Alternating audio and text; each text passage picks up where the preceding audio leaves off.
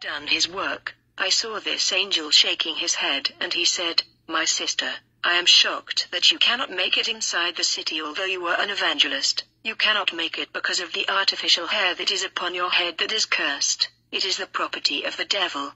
The lady was pleading, but the angel said, We cannot do anything about it, it's too late. Then the angel did a signal with his hand. As a result, the artificial hair that the evangelist was wearing got off her head. Then the angel said to the evangelist, You have covered the real hair that our Father the Lord God Almighty gave you with this false, artificial hair. The evangelist said, Please let me take this artificial hair off. It was too late. Then the angel stretched forth his hand, and as usual, the evangelist was also swallowed by hellfire.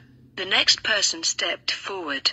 The angel screened all round him and did not see a spot on the garment, but the angel noticed a little dirt under the fingernails of this man.